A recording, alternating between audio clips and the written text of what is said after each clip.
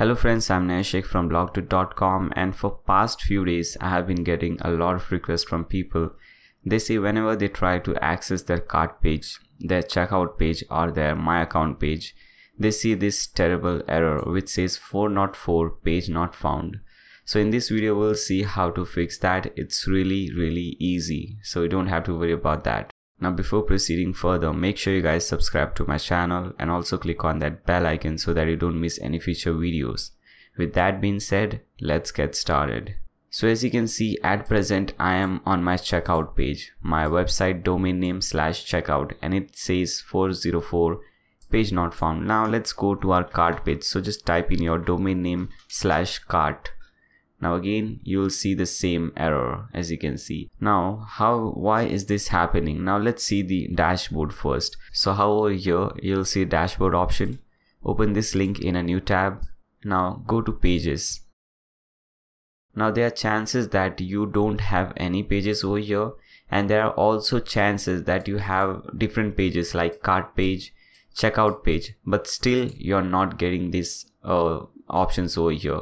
So both the cases we'll see how to solve. First if you don't have any page over here you have to create three basic pages. So let's start doing that. Click on add new. And let's add the cart page. So just type in cart in the title. And here you have to add a short code okay? So if anyone first let's let's just publish this page okay? Let's just create simple pages and after that add that short code. After creating that cart page now let's create create a new page uh, checkout page okay? Again click on publish. Now let's create my account page. Again click on add new. Type in my account and click on publish okay so these are the three basic pages that we need. Okay now let's click on all pages. Now as you can see we have three different pages over here. Now let's try again. We have our domain name slash cart. Now this should work.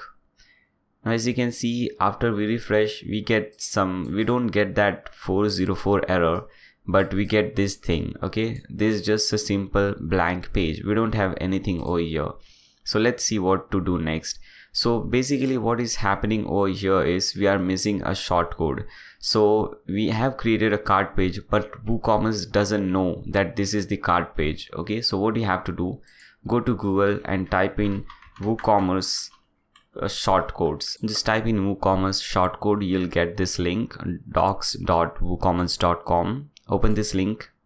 Now when you scroll down you'll see these three basic short codes the first one is WooCommerce cart shortcode. So just copy this shortcode from here. Come back over here, click on this edit button, edit cart page and just paste in the shortcode over here and click on update. Now again, let's come back to this cart page. Let's refresh and see whether the thing is happening or not.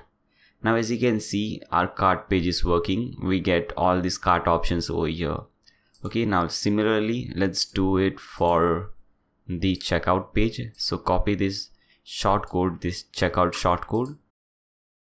Click on this edit button under checkout. Paste this short code. Click on update. Let's view this page in a new tab. Okay so as you can see our checkout page is also working now. Now the third page let's see. Click on all pages is the my account page. So again come back over here and copy this shortcode my account shortcode click on this edit button under my account. Paste the shortcode click on update. Now again click on view page. Okay so we have our my account page working as well. Okay guys so this is how you solve this problem. It was a very simple problem but many people face this problem this problem occurs mainly because you know when you don't do the quick setup the when you install woocommerce there is a quick setup. When you don't do that this is what happens. So i hope you guys enjoyed this tutorial. I hope it was helpful. If you find this helpful then make sure you subscribe to my channel and also click on that bell icon so that you don't miss any future videos. Give a thumbs up to this video share with your friends and if you have any doubts any request any queries you can put them in the comment section below thanks a lot for watching guys. See you soon